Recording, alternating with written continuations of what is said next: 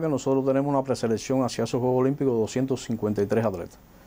Ya hoy tenemos 41 atletas clasificados para los Juegos Olímpicos y cuatro atletas clasificados para los Juegos Paralímpicos. No pierden esa clasificación. No pierden esa Aunque sean para los Juegos del 2021. Que sean para los Juegos, se mantiene, el sistema de clasificación lo, lo, lo permitió y se mantienen clasificados esos atletas que ya teníamos nosotros clasificados, que para nosotros es una gran ventaja. Nosotros los atletas que decíamos son 64 atletas que tenemos nosotros estratégicos para, para estos Juegos, tanto olímpicos como paralímpicos, prácticamente lo teníamos clasificado eh, todos los que tienen compromiso con los Juegos, de obtener los resultados. Solo nos quedaba pendiente por su clasificación el caso del bolseo, pero el resto de los deportes, el atletismo, el judo, el taekwondo, la lucha, que tienen compromiso de, en el medallero, en los Juegos Olímpicos, ya estaban clasificados. Hay una comunicación constante con todos los atletas a través de sus entrenadores y se le ha indicado que en esta etapa que, eh, eh, los ejercicios que se deben realizar es para mantener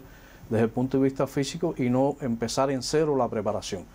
Cuando comencemos la preparación, cuando se decida, en el momento que se decida la preparación, en el caso de los equipos nacionales se ha estado indicando hacer una introducción a esta preparación, es decir, un método, como decimos nosotros desde el punto de vista técnico-metodológico, un método introductorio para a partir de ahí eh, comenzar ya la preparación con vista a, los Juegos Olímpicos. Prestando una especial atención a los sistemas de preparación que se van a, diseñar para, para estos Juegos.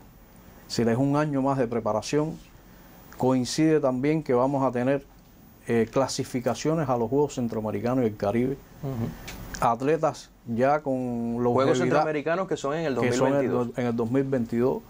Atletas que con longevidad deportiva, es decir, que la preparación que se va a diseñar, como decía, le estaremos dando una especial atención a la individualización de la, de la preparación para que esos atletas que tienen un compromiso con los Juegos Olímpicos puedan llegar a cumplir sus metas y objetivos en, los Juegos del 21.